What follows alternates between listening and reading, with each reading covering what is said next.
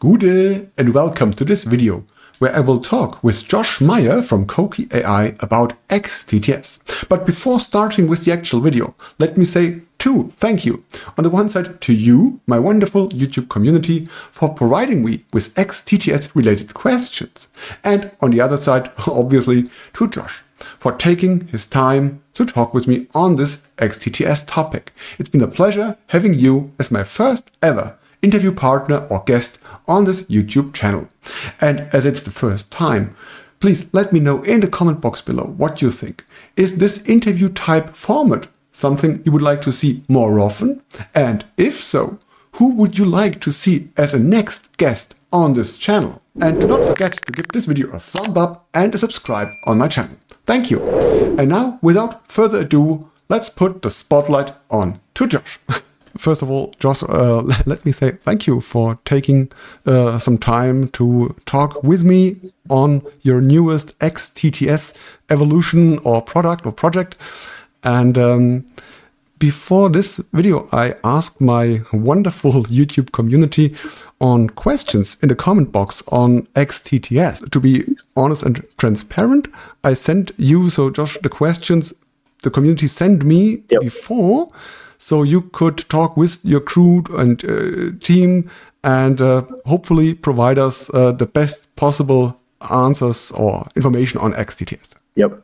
Yep. So, and again, that's all for the intro. So thank you, Josh, for, for taking your time and uh, for joining me today. Yeah, um, I am excited to be. I'm honored to be the first guest here. Uh, it's a, you know, I've been following your YouTube channel and this other kind of work you've been doing, the Open Wiki I recently actually uh, was googling for just googling for an answer on speech technology, and the first best answer was your wiki. But uh, yeah, so I'm um, happy to to talk about XTTS from all different fun angles. Uh, if anybody's watching that wants really deep into the weeds technical information on XTTS, I would encourage you to check out um, our Discord server and, and talk to some of our uh, core engineers who are working on it.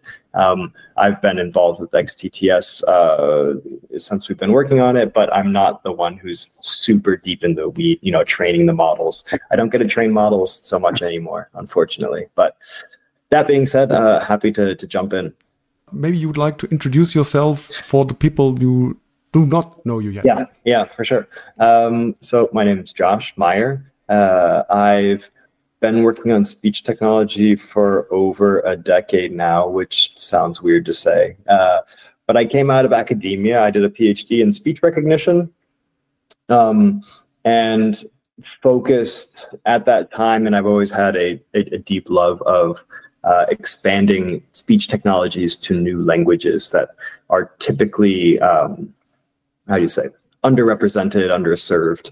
Um, so I spent a good chunk of time, something like six or seven years, working on speech recognition and making um, these kind of deep neural net models work more efficiently when you have only a small amount of data. So I looked at fine tuning uh, and multitask learning.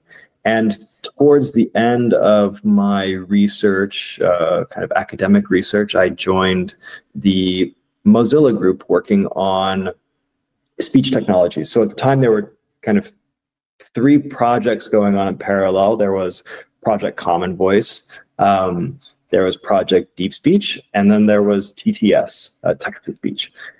And for um, for a long time, the Project Deep Speech and Project Common Voice were the kind of the shining stars of Mozilla working on speech technology. Actually, historically, Project Common Voice came out of a need from Project Deep Speech. So they started working on Project Deep Speech. They realized they need more data. Uh, and that's where Project Common Voice kind of came to life. And so I joined the team. Um, basically, they were working on English. They were making very good speech technologies for English. And my kind of axe to grind was how do we make this work for as many languages as possible? So that's what I spent most of my time working with them, both on the data collection side and on the um, training uh, speech recognition model side. All the time in parallel, uh, our team wasn't big it wasn't huge to begin with. And there was always uh, one person working on TTS. That's Eren, and um, Eren kept working on TTS and kept making these breakthroughs, and uh, ended up having these new algorithms, especially for zero shot voice cloning, cross lingual zero shot voice cloning, that ended up being, um, is to the best of my knowledge, the first kind of publicly available uh, proof of concept we had. I think it was like two years ago, uh, and it went viral on Hacker News. If I go back and listen to the quality of that now versus what we have today, uh, it makes me cringe. like, you know, every time we have new, it, it, it, the state of the art is moving so fast that um, every breakthrough, you you listen to it and you think, how did I ever like this stuff in the past? You know. Um, but in any case, uh, long story short, started in academia, joined Mozilla, working on open speech technologies, open source. Uh, the project was always MPL 2.0, and the data was released under the Creative Commons uh, zero.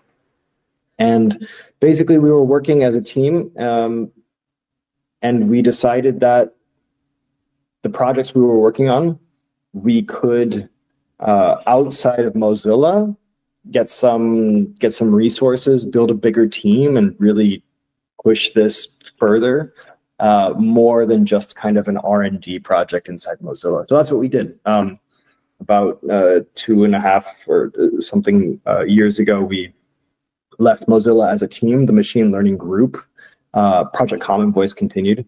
Um, but we left as a group to to continue working on speech technologies and in particular we started making more and more breakthroughs with the TTS, with the, the, the generative voice, I guess people are calling it now, right? Um, and uh, we felt the strongest pull in that direction. So we've focused uh, our entire company to work on uh, TTS and not just TTS, but also voice cloning and, and cross-lingual voice cloning. And um, yeah, that's where we are today. I, we still have uh, a very strong open source uh, project, the TTS project, which is released under the MPL uh, 2.0, and different models are released under their own licenses. Um, but I think that's something that's really special about us and what we're doing is we have we're a for-profit company uh, we have an API that's a paid access, and we have a Coqui Studio, which is a kind of creator application. So for people who don't code, but they want to use these uh, core technologies in their workflow, like let's say an animation team or a video game development team studio, um, if they want to use these technologies and have a nice interface, I kind of pitch it as GarageBand for voiceover. Um, that's that's what we provide. And then we also have the open uh, source or open access. There's there's some uh, uh, nuance there, um, but we open really openly release uh, lots of code and models. And um, I think that's something that's special about us and our project uh, is that we are we started as an open project and we've kept that at our core. So that's maybe a long intro, but uh, there there it is. Thank you for the introduction. Uh, let's start with the probably most obvious question. So, what is XTTS and what makes it so special in comparison to existing models? Yeah. Um, so, the X doesn't officially stand for anything.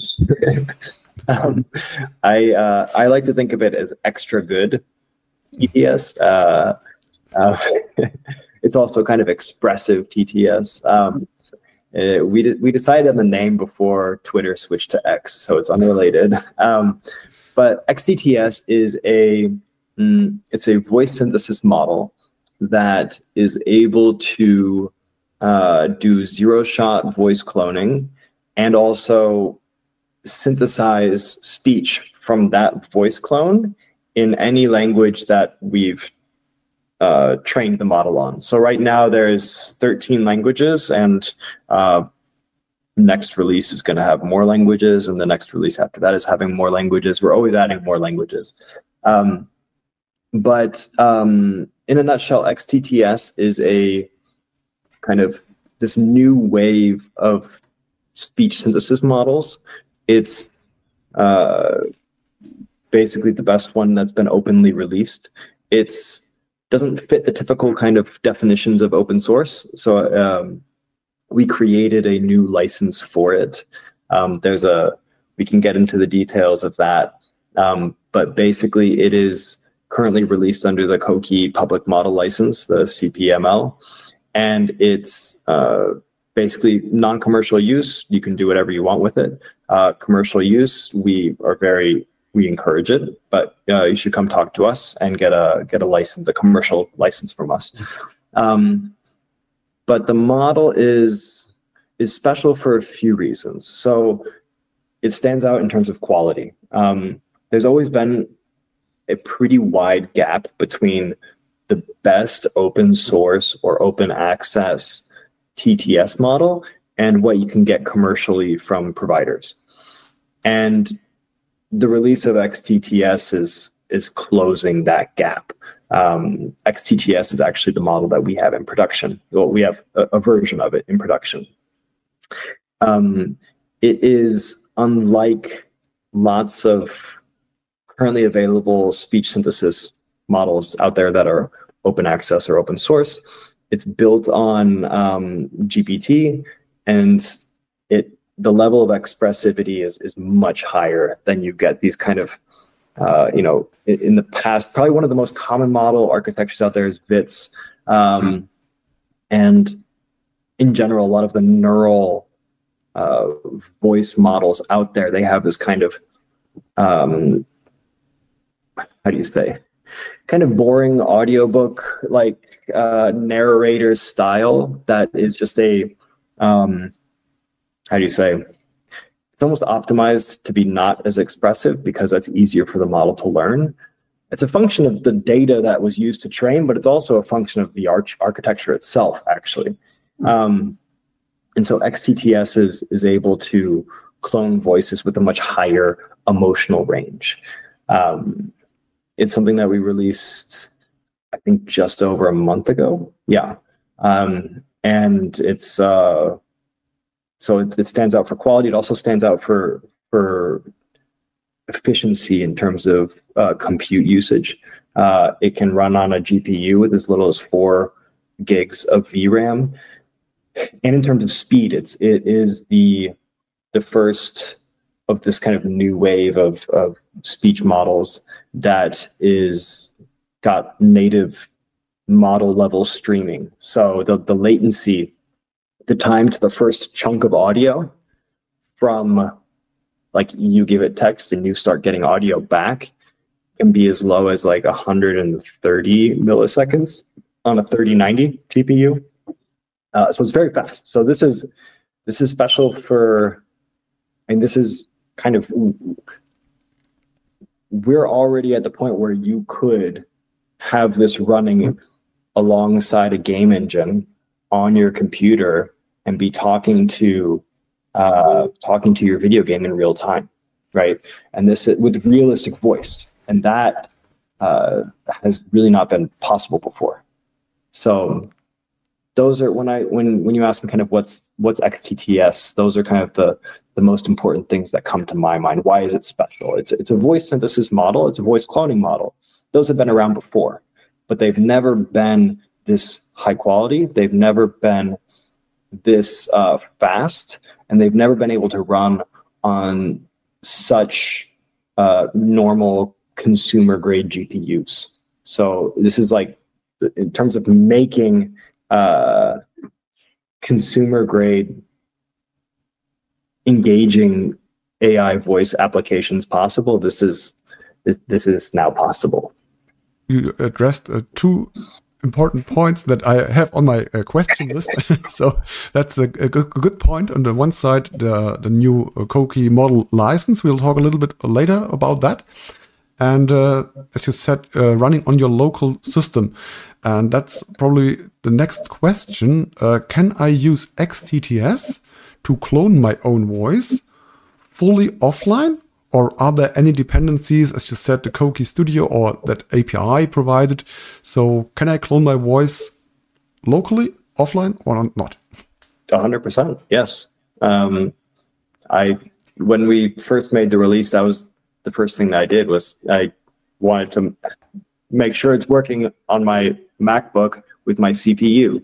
Uh, so you know you can download it, use it, and if you're using it for you know your own purposes, for personal, non-commercial, you can go do this today. You just do pip install TTS, um, and you you get the XTTS model. You use a clip of your own voice, and you can start synthesizing. You know, you can turn off the turn off your Wi-Fi, and it'll still work, which is pretty awesome. Um, yeah. So the short answer is yes. Please let me know in the comments if I should make a tutorial on XTTS voice cloning locally. And um, so, as you said, just uh, run pip install TTS and then the magic uh, happens. Uh, that's probably answering the next question too. So, if I can clone my voice locally, fully uh, Wi-Fi disconnected uh, after running pip install, obviously, mm-hmm. and um, I can synthesize for private or not non-commercial. I can synthesize the audio too locally. Yep, I guess. Yeah, and I'll say uh, also that there's one model, the XTTS model, which speaks all the languages. So you could uh, use, you know, five seconds of your voice speaking German, and then synthesize your voice speaking English, Chinese, Arabic, whatever. You don't need to download 13 different models. It's one model. Oh, well, then that's one of the other questions indeed. But uh, first of all, as you said, five seconds, or I've read three or six seconds, yep. around five seconds of pure audio, which is really amazing. Yeah, this is enough. Optimal. Six? Okay. Yeah.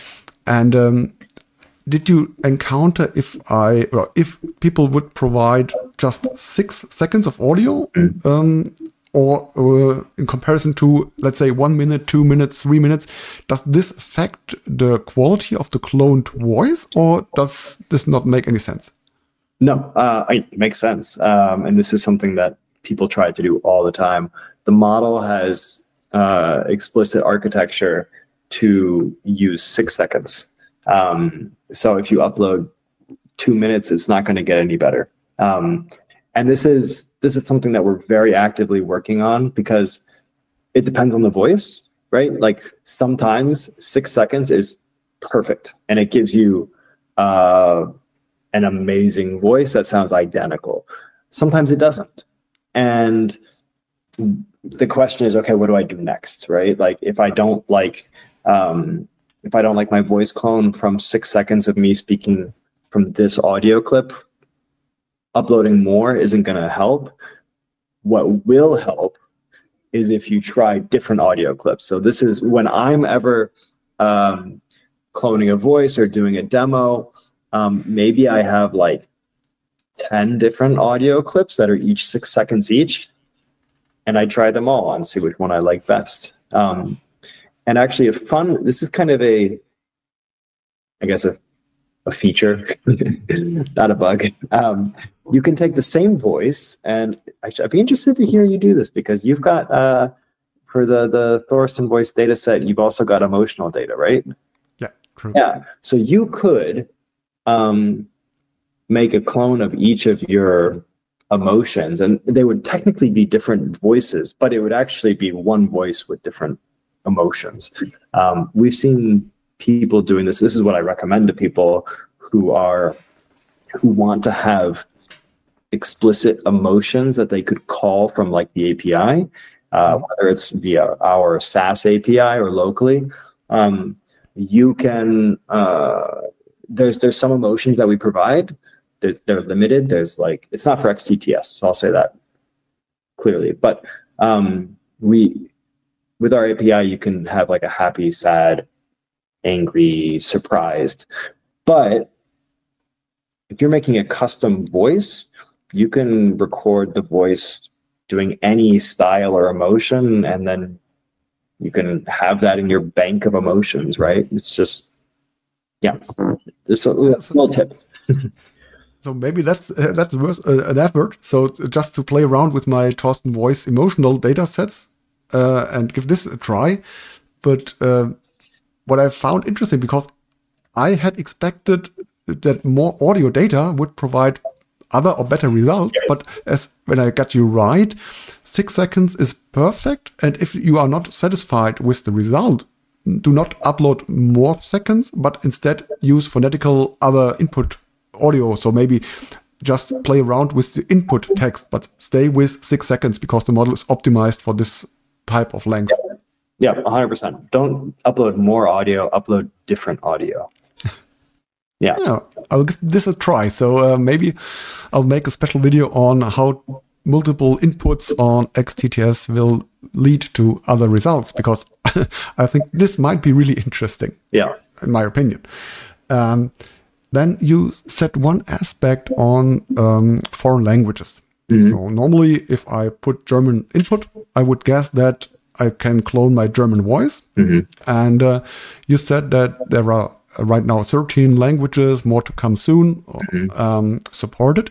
So XTTS provides the feature I input six seconds of audio, and then let's say I synthesize French or uh, English in my cloned voice. Mm-hmm. That's possible. 100%. Yep. You know that I will give this a try and will uh, call you back if yeah. this is not working. yeah, yeah, yeah. yeah. But that's that's it. You you upload six seconds of any language, and it actually doesn't have to be a language that we support. So, for instance, we don't support um, Hindi currently. Okay. You could upload six seconds of yourself speaking Hindi or Bengali or whatever language, uh, and it still will synthesize perfectly in the other 13 languages. So the input can be anything uh, because we're we're doing it's a speaker embedding extraction. It doesn't rely on text, uh, so it's language independent. No, that's interesting. Uh, if you asked me this before, I would never get this. So I really can I can input to the model a language that is not supported. Mm-hmm. It's doing its um, magical fairy dust uh, uh, machine learning magic, mm-hmm. and uh, but it will just synthesize audio from 13 and more to come languages. But the input language does not matter at all. Correct. Yeah. One other question when it comes to foreign languages, mm-hmm. um, because this is mainly, uh, or one of the questions that I hear a lot.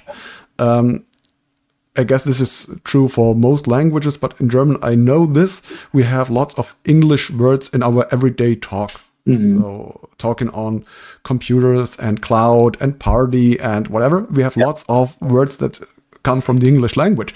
And um, normally the models have problems. When I synthesize my German model with maybe English words, this is not sound or not pronounced. Mm-hmm. Um, it, it should be. So how does or does XTTS handle an English phrase with foreign languages inside? Typically what happens so this is called code switching right? Like when you have hmm. uh, a, a, sentence that's mostly in one language but you might switch into another language. Um, and there's also it's interesting there's, there's also kind of opinions on how this should be done. Should we keep the phonology of the first language or should we use the phonology of the second language? And um, if you're a fluent speaker in english and german then you might use the english phonology right? When you're switching. But if you don't speak English at all, then what would you do? But I think typically what happens is uh, typically what happens is you get the native phonology of both languages. So if you're switching German and English, uh, you'll get English phonology coming out then the next uh, and important question um, why should people subscribe to my Thorsten Voice YouTube channel? Yeah. Uh, well, the simple answer is because you're the best YouTube channel for open voice technology. Uh, um, yeah, I, I, honestly think um, this is something that I've talked about uh, a few years ago. Like NLP, like the natural language processing, has always had this kind of big hypey community with lots of people and lots of um, uh, ways to get information, but speech has not been like that. Voice technology has always been um, a smaller field. It's changing now. I think it's I think it's really changing now, especially with this new wave of technologies. And even for me, who's like I've been in this space for over ten years, uh, I'm pretty familiar with like in the weeds. Uh, but there's so much stuff happening all the time that it's it's hard to make heads and tails of it, especially knowing what's hypey noise from you know companies that are trying to sell you something versus what's interesting, you know, breakthroughs and interesting new technologies. And that's why I watch your videos.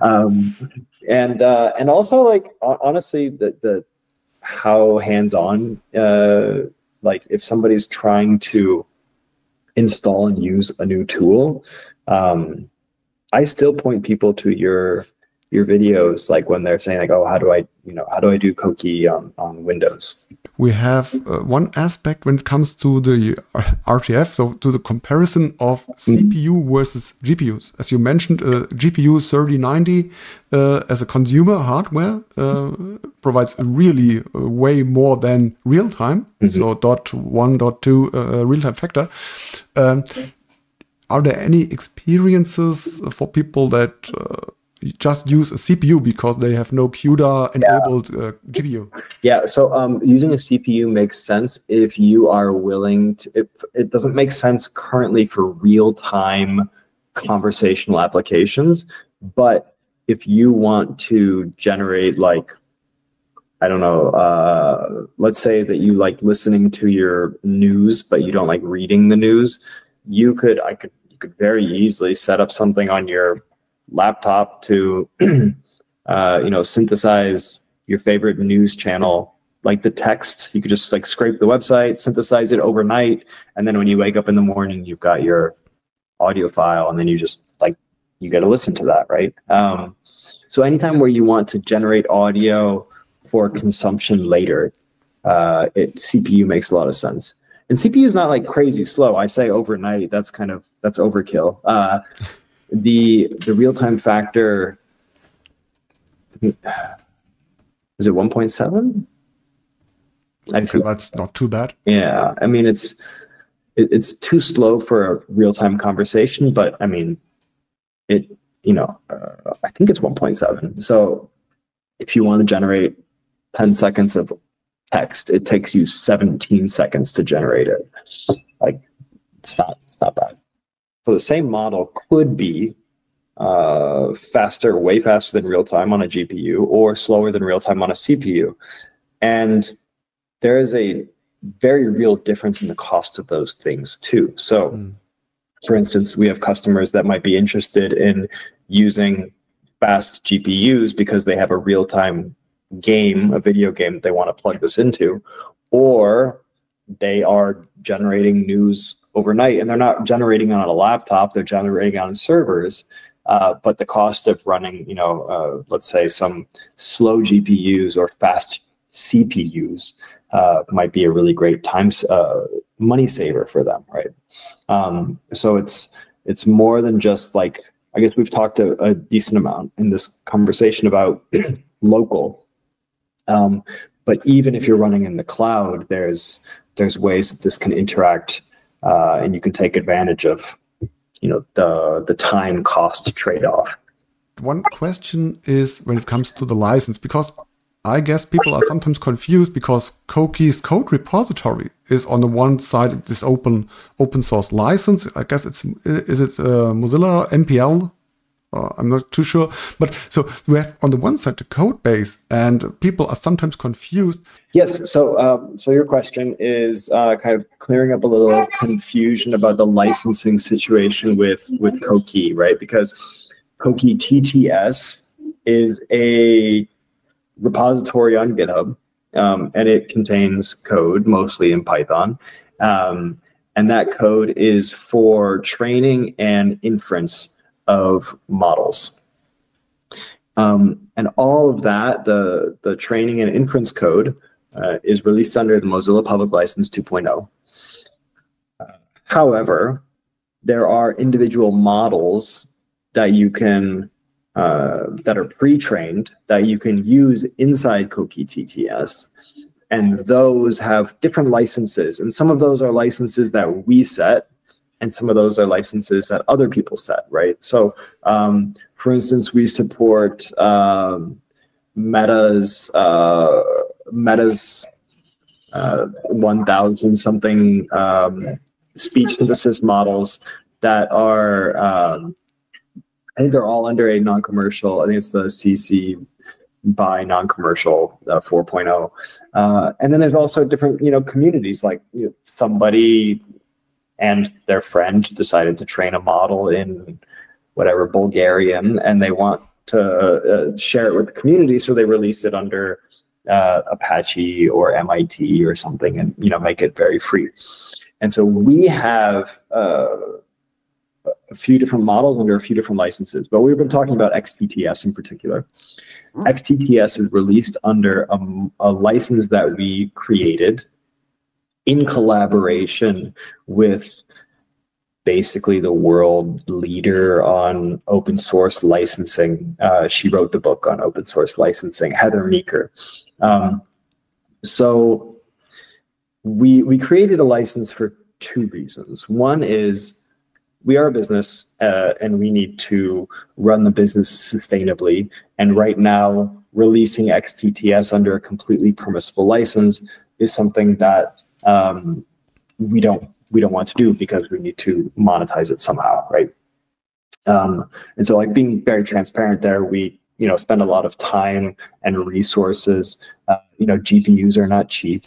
Uh, and people need to get paid to use the GPUs to train the models, and this is all not cheap. And and um, there's some other startups out there that their kind of paradigm right now is, uh, or let's say larger corporations where they can they can afford to lose a few, a few million dollars uh, to release a model uh, openly, which is which is really great for the community. But uh, we are uh, not at the level of you know meta money that where we can throw away a few million dollars. so, um, so yeah, so we created the CPML for two reasons. One was so that we can monetize the model because we do want it to be available for researchers and people who are using it for uh, non-commercial purposes. Like if you have a home assistant set up in your house that's controlling, you know, your refrigerator and your garage, and you're like really into home assistant, uh, love it. We we we get it. We want you to run uh, XTTS and, and do your thing. Um, but if, if you're a corporation you want to use the XTTS, XTTS model, we still want you to do that, but we want to sell that to you, right? Um, so that's one reason why we created the, the license. Another reason is um, I, I, think, and we, we think uh, largely, uh, is that open source licensing for machine learning models is is a weird landscape and the old licenses that have been typically approved by the open source initiative for uh, code for source code is uh, they, they don't apply to machine learning models for for a few reasons. So um, source code is very different from a machine learning model. A machine learning model is really closer to binary because it's been trained, it's compiled. You can't mm-hmm. you can't like open a, a, file of any machine learning model and, and interpret the weights and the parameters and make changes to them as if you were looking at the Linux kernel, right? Um, so I think a lot of I think actually any of the open source initiative licenses that were written for source code don't make sense for machine learning models. Hmm.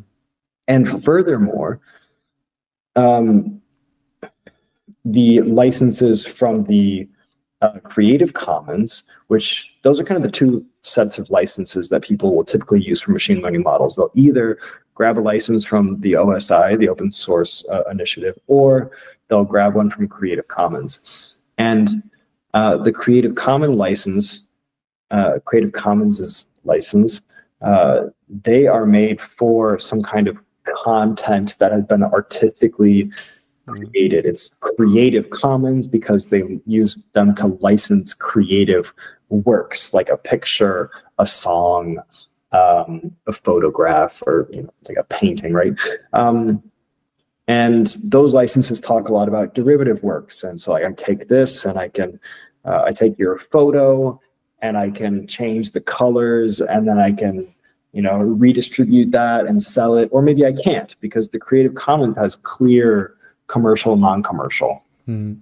Um, and so the problem with that is uh, those licenses were made for human created things, not for uh, machine learning models that are they're almost kind of they're they're in a weird place because they're generated by code. Machine learning models are generated by code, but then they can also generate content.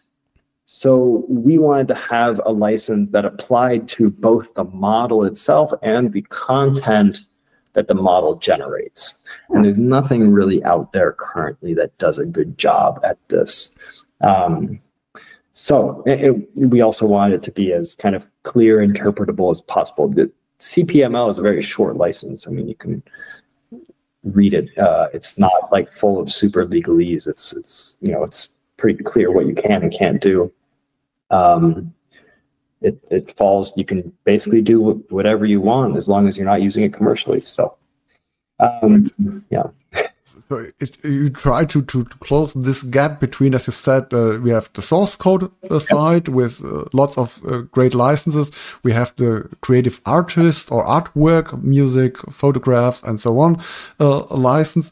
But this uh, new field, so machine learning models, um, there is this gap and you try to close this gap or find a good license or hope to find a good uh, license um, yeah. for this gap. Well, we, we wanted something that was going to work for us to create a sustainable business while also being able to share what we're doing with the research community. We all come from the research community, our team, we all come from the research community we love working with the research community and also the open source community. I mean, we, we came from Mozilla and like this is, we built the project from open source. Um, so we wanted a license that was going to be as clear as possible and allowed everybody who's, you know, the the DIY hackers, you know, who love Raspberry Pis and Arduinos and doing all that stuff. Uh, we wanted to make it so they could use this. And we also wanted the PhD students and the master's students and the universities to be able to use it. Um, it, it we wanted to, to, get it out there. Uh, and so this is the clearest way that we could we could do that. Um, machine learning models are like compiled code that create content. So you want to be able to cover all of that. Um, and it's not just about um, restricting people from doing certain things. It, it, a, a, license has to be very clear, or else uh, companies, institutions, people won't use it if there's any if there's any kind of unknowns. Mm. So that's that's a, a, reason that a, a license has to be very clear. Um, yeah, it's uh it's a hard thing. I, I think we we did our best to to make a good license, and I'm I'm personally very happy with the CPML. I think it's I, I love how clear and just straightforward it is. So I'll put a link to uh, the license um, in the description, so people can take a look to it and uh, get an idea of the license, and they now know the motivation and the idea of the new license. And uh, I'm really excited to see in the comments if the people have more questions or have now a better understanding on the on the idea, on the vision of um, the requirement for this type of new license. So, and uh, when I take a look to our question catalog, I think that we uh, covered all the important topics. So by now I can just say it's been a pleasure to have you yeah. as my first and special guest uh, on this uh, little place on YouTube on Open uh, Voice Technology. So thank you, Josh, for taking your time, uh, for joining me today, and for providing, as I think, great answers to the questions. Thanks to you and to the team at Coqui AI. And uh, if there's anything you would like to share, please the, the, the next words are yours. Yeah, um, I'd say if you're watching this, uh, keep watching and follow uh, Thorsten because these videos are great. Uh, not just the videos, uh, you know, the content he posts on other platforms like Twitter, at least or X. Uh, I very much enjoy. Um, so uh, besides that, um, if you want to get involved with uh, with Coqui, there's a few ways. There's GitHub, github.com slash Coqui dash AI slash TTS. That's the, the main kind of project repository. Um, you can find also our models uh, and some demos on Hugging Face. Um, just you know, search for XTTS or search for Coqui. Um, also, we have Discord. Uh, I guess we'll have a Discord link hopefully here. Um, the, the Discord's a really fun place. Like it's uh, it's something the community actually on Discord has has existed from way back in Mozilla times. Like originally it was IRC, and then we changed it to I think Element and then Gitter, and now we're landed in Discord. Um, but it's a fun group of people. It's a lot of people who really uh, care about uh, sharing research, technology, what they're working on, and a lot of different language enthusiasts. So if there's a language that you want, you don't, it's not an XTTS yet, uh, come chat with us uh, on Discord. There's people working on lots of different languages. Um, yeah, thanks for having me, Thorsten. Um, and uh, I, you know, if we want to do this again, I'm more than happy to. Thanks again, Josh. It's a pleasure for me. And I'll put all the links Josh mentioned right now in the description box. So thank you, Josh. I wish you a nice rest of the day. And again, thank you. And hopefully we'll stay in regular contact and see us soon. Yes, definitely. Thanks. Bye, Josh. Thanks for watching. I hope you found it useful. Please give this video a thumb up if it is so. Do not forget to subscribe to my channel. And please let me know in the comment box about what you think on this interview type format and who you would like to see as a next guest, just in case you liked the video. And so that's all. I hope you liked it. I wish you all a nice rest of the day. And if you like, we might see us next time. Bye.